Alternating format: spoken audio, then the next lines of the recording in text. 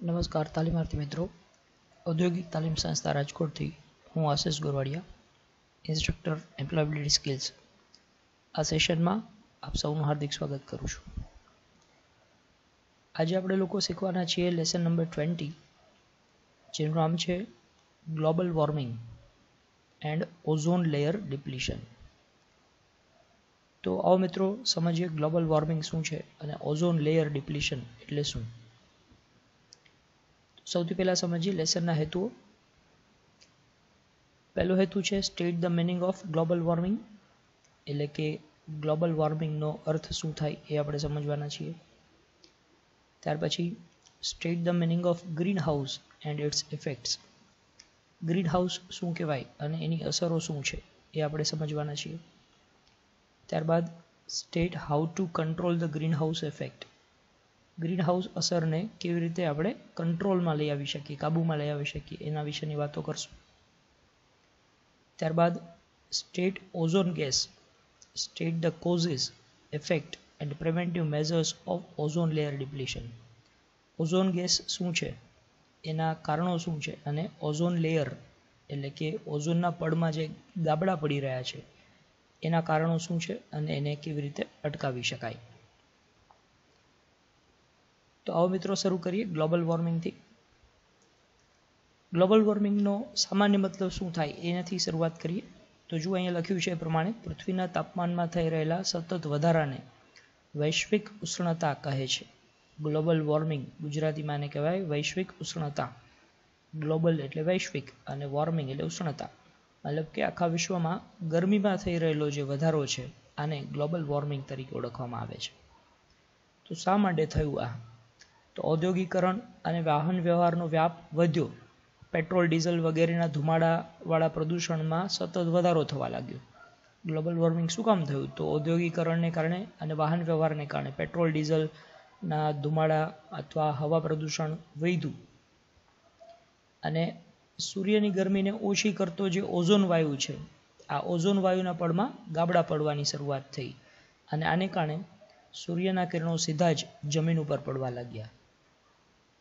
જેને કારણે દુનિયાના તાપમાનમાં સતત વધારો થતો આવ્યો છે અને આને વૈશ્વિક ઉષ્ણતામાનમાં વધારો થઈ રહ્યો છે, એટલે કે ગ્લોબલ વોર્મિંગ, વૈશ્વિક ઉષ્ણતા થઈ રહ્યું છે એમ કહી શકાય. તો ઇફેક્ટ્સ ઓફ ગ્લોબલ વોર્મિંગ આ વૈશ્વિક ઉષ્ણતામાન જે વધી રહ્યું છે, આ શા માટે વધી રહ્યું છે એ તો આપણે જોયું કે પૃથ્વીમાં આપણે જે ઔદ્યોગિકરણ કર્યું અને આપણે વાહન વ્યવહાર વધાર્યો એના ધુમાડાને કારણે જે ઓઝોન વાયુનું પડ છે, એમાં ગાબડા પડ્યા. એને કારણે સૂર્યનો જે પ્રકાશ છે, સૂર્યની ગરમી છે, એ સીધી જમીન ઉપર આવવા માંડી. તો એને કારણે આ ગ્લોબલ વોર્મિંગ થયું. પણ હવે ગ્લોબલ વોર્મિંગની અસર શું છે એ સમજીએ. તો સૌથી પહેલું છે rising of global temperature causes to raise the sea level મતલબ કે ગ્લોબલ ટેમ્પરેચર ટેમ્પરેચર એટલે તાપમાન. વૈશ્વિક તાપમાનમાં વધારો થવાને કારણે સી લેવલ એટલે કે દરિયાની સપાટી છે, એમાં વધારો થશે. ત્યાર પછી melting of glaciers snow mountains and polar ice caps melt એટલે ઓગળી જવું અથવા પીગળી જવું. ગ્લેશિયર્સ એટલે બરફના જે પહાડ છે, આમાં ગરમી વધી એને કારણે બરફના પહાડ છે પીગળવા માંડ્યા અને એને કારણે એ ઠંડા પ્રદેશોમાં પણ ગરમીમાં વધારો થવા માંડ્યો. ત્યાર પછી છે the change in rainfall pattern એટલે વરસાદની પરિસ્થિતિ છે બદલાતી જશે. મિત્રો, તમે લોકો આવું ખાસ ઓબ્ઝર્વ કર્યું હશે કે પહેલાંના જમાનામાં સિઝન ત્રણ સિઝન આપણને ખાસ જોવા મળતી.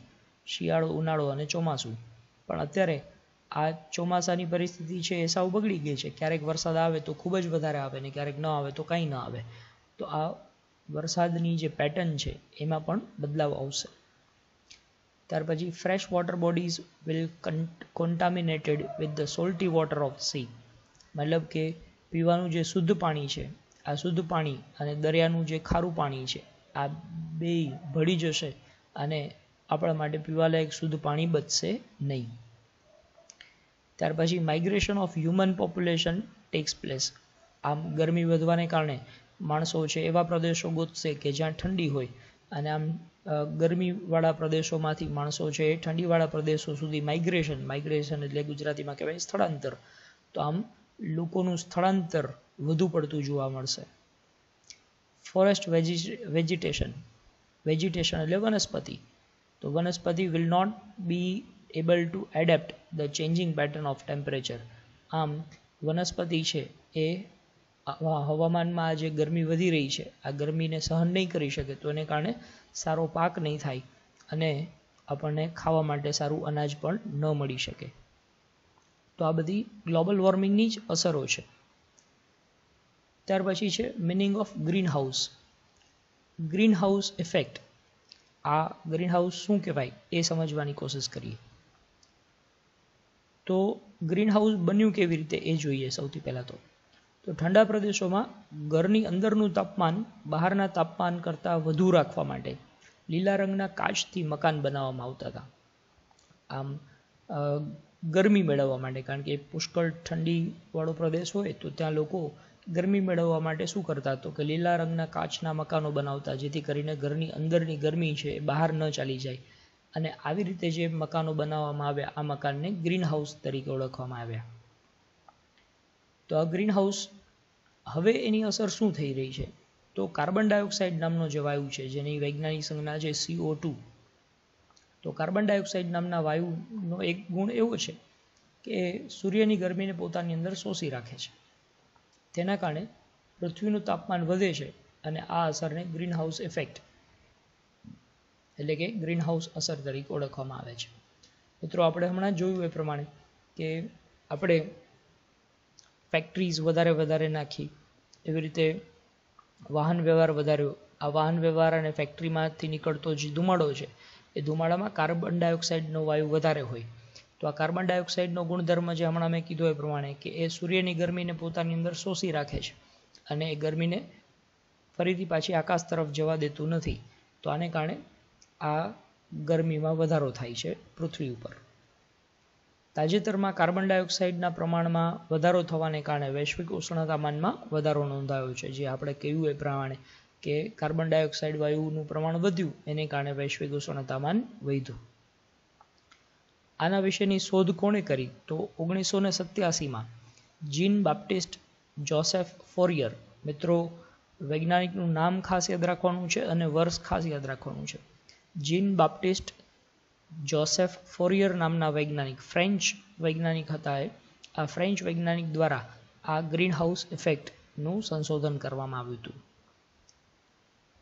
તો હવે જોઈએ ગ્રીન હાઉસ ગેસ કયા પ્રકારના ગેસને ગ્રીન હાઉસ ગેસ તરીકે ઓળખવામાં આવે છે? મતલબ કે કયા ગેસ એવા છે કે જે ગરમીને પોતાની અંદર શોષી રાખે છે?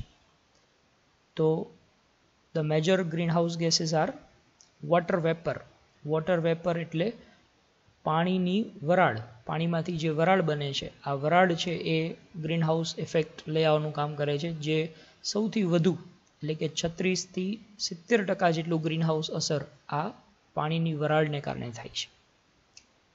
ત્યાર પછી બીજા નંબર ઉપર છે કાર્બન ડાયોક્સાઇડ, જેનું વૈજ્ઞાનિક નામ છે સીઓ ટુ કાર્બન ડાયોક્સાઇડ છે એ નવથી છવ્વીસ ટકા જેટલું આ ગ્રીનહાઉસ અસર પેદા કરે છે. ત્યાર પછી મિથેન નામનો જે ગેસ છે, જેને સી એચ ફોર વૈજ્ઞાનિક સંજ્ઞા આપવામાં આવેલી છે, મિથેન. આ મિથેન ચારથી નવ ટકા જેટલું ગ્રીનહાઉસ અસર ઊભી કરે છે. અને ત્યાર પછી છે ઓઝોન. ઓઝોન જેનું વૈજ્ઞાનિક નામ છે ઓ થ્રી આ ઓ થ્રી સંજ્ઞાથી દર્શાવવામાં આવે છે, જે ત્રણથી સાત ટકા જેટલું ગ્રીનહાઉસ અસર ઊભી કરે છે. તો હવે જોઈએ ઇફેક્ટ્સ ઓફ ગ્રીનહાઉસ ગ્રીનહાઉસ અસર જે થઈ છે, એની અસરો શું? ગ્રીનહાઉસ ગેસની અસર શું? તો સૌથી પહેલી અસર છે vegetation and animals are badly affected by it મતલબ કે વનસ્પતિ અને પ્રાણીઓને આ ગ્રીનહાઉસ ગેસની સૌથી વધારે અસર થશે, કારણ કે તાપમાનમાં વધારો થયો અને તાપમાનમાં વધારો થયો તો એને કારણે વનસ્પતિ અને પ્રાણીઓને નુકસાન થશે.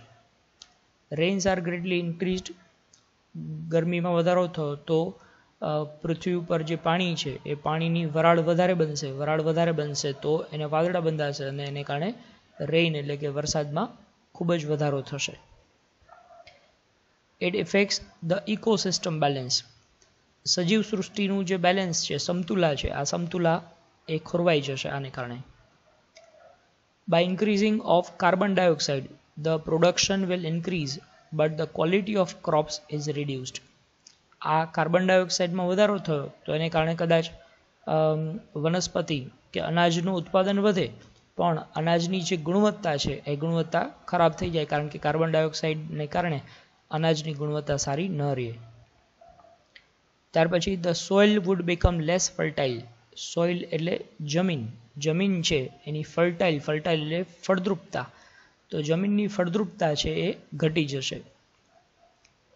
In the cold area the winter season would become short and it would be less cold જે ઠંડીવાળા પ્રદેશો છે, ઠંડા પ્રદેશોમાં વિન્ટર સિઝન વિન્ટર સિઝન એટલે શિયાળાની ઋતુ છે એ ટૂંકી થઈ જશે. અને શિયાળામાં ઠંડી પણ ઓછી પડશે. કારણ કે આપણે એમ કીધું કે વૈશ્વિક તાપમાનમાં વધારો થઈ રહ્યો છે, તો શિયાળામાં ઠંડક ઓછી થશે.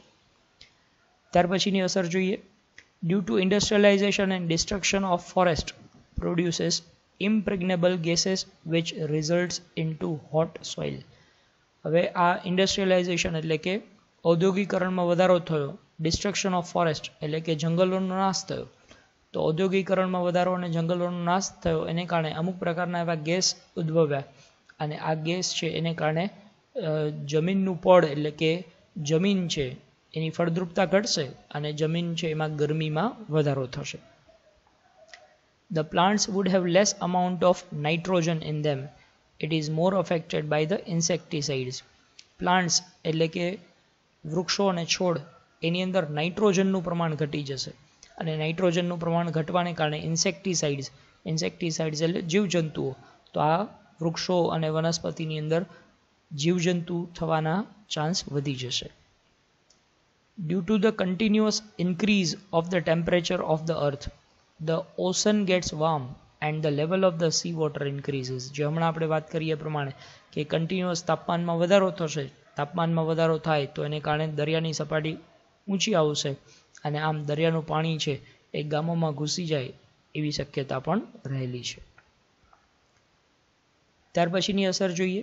Health of man will be badly affected માણસની તંદુરસ્તી ઉપર પણ વધારે અસર થશે due to that the number of disease will increase અને આને કારણે પુષ્કળ પ્રમાણના રોગમાં વધારો થશે. મેલેરિયા છે, રેસિપરેટરી સિસ્ટમ રેસ્પિરેટરી સિસ્ટમ મતલબ શ્વાસોશ્વાસની તકલીફ ઊભી થશે સ્કિન ડિસીઝ એટલે ચામડીના રોગોમાં પણ વધારો જોવા મળશે.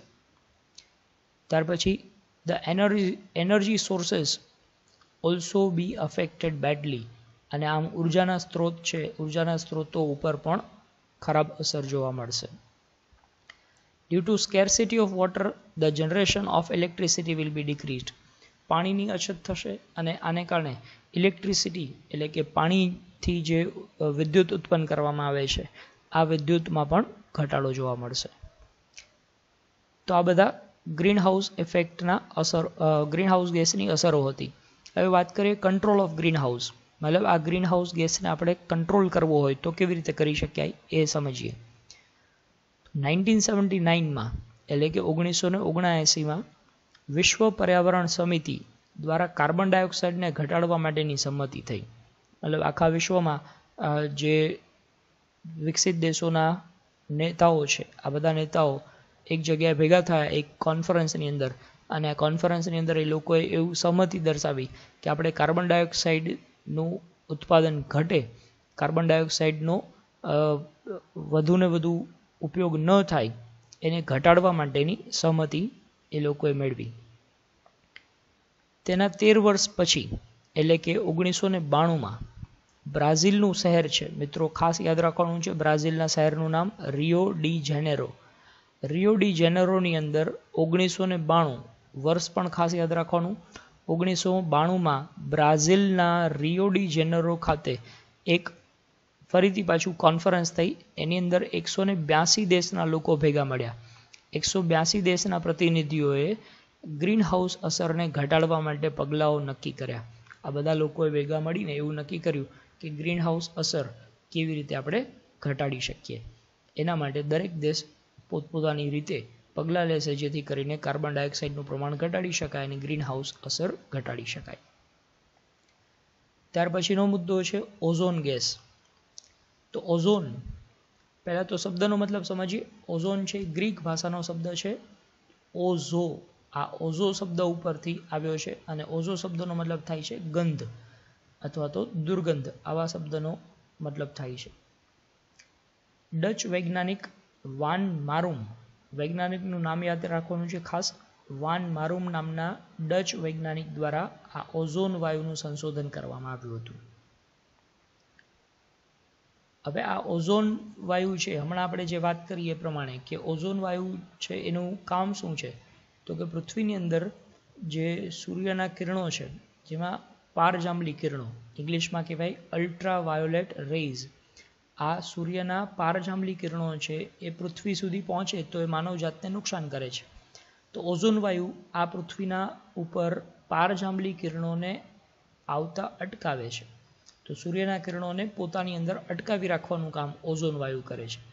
પણ આપણે લોકોએ જે પ્રદૂષણ ફેલાવ્યું એને કારણે ઓઝોન વાયુના પળમાં આ ગાબડા પડ્યા. અને આ ગાબડા પડવાને કારણે શું અસર થઈ? ઓઝોન વાયુના પળમાં જે ગાબડા પડ્યા એને ઇંગ્લિશમાં કહેવાય ઓઝોન ડિપ્લિશન. તો ઓઝોન ડિપ્લીશન એટલે કે ઓઝોન વાયુના પળમાં જે ગાબડા પડ્યા છે, એની શું અસર છે એ આપણે સમજીએ. તો સૌથી પહેલું છે it produces greenhouse effect and the climate is also changed તો ઓઝોન વાયુના પડમાં ગાબડા પડવાને કારણે ગ્રીન હાઉસ અસર ઊભી થશે અને વાતાવરણમાં પણ પરિવર્તન આવશે. Ozone depletion results in low production of crops ozone depletion એટલે કે ઓઝોન વાયુના પડમાં ગાબડા પડવાને કારણે ક્રોપ એટલે કે પાકનું ઉત્પાદન ઓછું થશે, અનાજનું ઉત્પાદન ઘટશે. It causes damage to the organs of living things મતલબ કે માનવ અને પશુ પક્ષીઓ એના ઓર્ગન ઓર્ગન એટલે એના શરીરના અંગો. આ શરીરના અંગોને પણ ઓઝોન ડિપ્લિશનને કારણે નુકસાન થશે.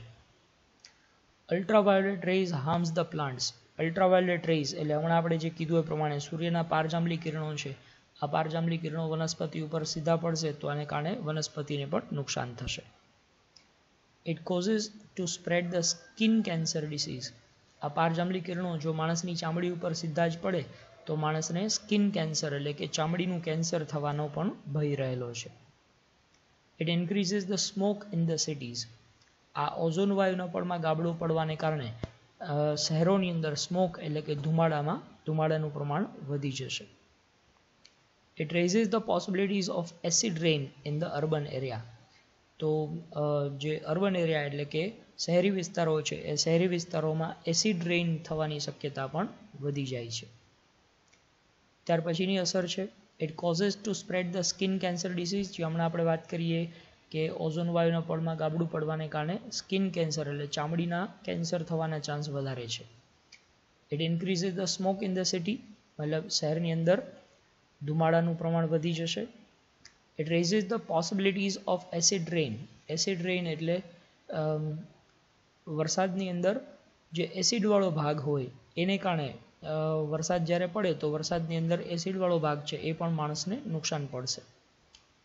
It increase the temperature of the environment વાતાવરણનું ટેમ્પરેચર એટલે કે તાપમાનમાં વધારો જોવા મળશે. It affects the mental health of the man માણસની માનસિક સ્વાસ્થ્ય ઉપર પણ આ ઓઝોન વાયુના પળમાં જે ગાબડું થયું છે એને કારણે પારજાંબલી કિરણો સીધા પડશે તો એ માણસના માનસિક સ્વાસ્થ્ય ઉપર પણ ખરાબ અસર કરશે. તો બસ મિત્રો, આ ચેપ્ટરમાં આટલું યાદ રાખવાનું છે. આશા રાખું છું આપ સૌ આ બધું જ ધ્યાનપૂર્વક સાંભળ્યું અને એને યાદ રાખશો અને આપની નોટબુકમાં નોંધી પણ લેશો. આભાર.